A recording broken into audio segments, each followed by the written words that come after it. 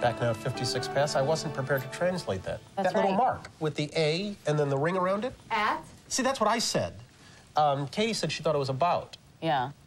But I've never heard Or it. around I've never heard it said. I'd always That's seen the mark. There it is. At AM feedback. Com. I mean, When what do you is say that, internet anyway? What do you write to it like mail? There's Allison. Can you explain what internet is? See, that's what I said. What do you mean there's nothing under the hood? Katie said she thought this was a car. Yeah. And it's built using wind? Like from a windmill? Or a fan? Or a turbine? Or a fan vine? I mean, what is i3 anyway? Allison, can you explain what i3 is? The all-electric BMW i3, built in a wind-powered factory with the strength of carbon fiber and BMW performance. Come on, loosen up, Gumbel. Can you twerk? Maybe.